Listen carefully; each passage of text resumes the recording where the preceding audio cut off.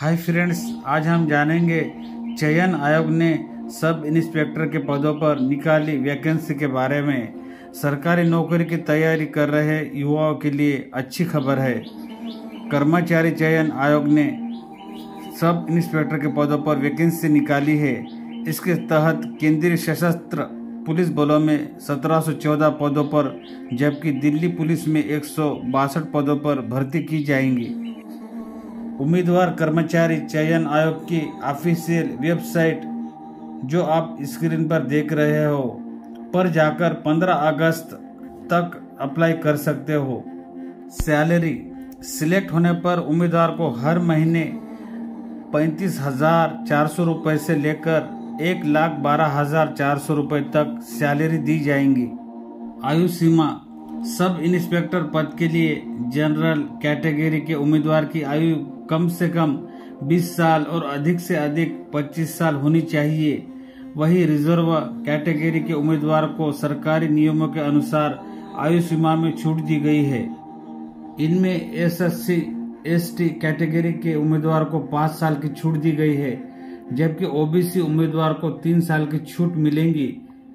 आवेदन शुल्क भर्ती प्रक्रिया में आवेदन करने के लिए उम्मीदवार को सौ रुपये आवेदन शुल्क देना होगा। वही महिला उम्मीदवार एसटी विकलांग पीडब्ल्यूडी और पूर्व सैनिक ईएसएम को आवेदन शुल्क का भुगतान करने से छूट दी गई है। योग्यता, भर्ती प्रक्रिया में आवेदन के लिए उम्मीदवार का किसी मान्यता प्राप्त यूनिवर्सिटी से ग्रेजुएशन पास होना ज़रूरी है। सिलेक्शन प्रोसेस भर्ती प्रक्रिया में उम्मीदवार का सिलेक्शन रिटर्न टेस्ट के आधार पर किया जाएगा, जो ऑनलाइन कंप्यूटर मोड पर आयोजित होगा।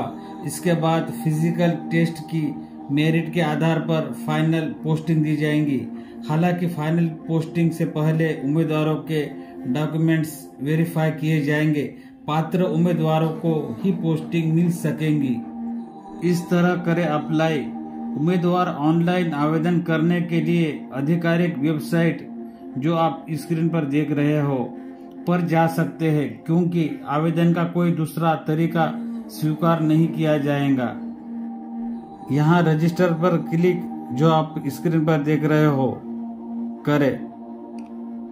सभी आवश्यक डिटेल्स दर्ज करें। एक बार सौ रुपये फ़ीस का भुगतान करें, फिर सभी आवेदन प्रक्रियाओं को जाँच ले कि आपने सही तरीके से आवेदन किया है या नहीं। शुल्क का भुगतान Bhim UPI, net banking, visa master card maestro RuPay card या क्रेडिट कार्ड का उपयोग करके ऑनलाइन किया जा सकता है।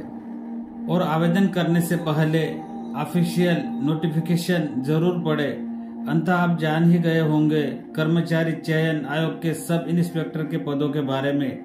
और इसी तरह अच्छे अच्छे वीडियोस देखने के लिए हमारे चैनल को सब्सक्राइब लाइक और इस वीडियो को शेयर ज़रूर कीजिए। मिलते हैं नए वीडियो के साथ में।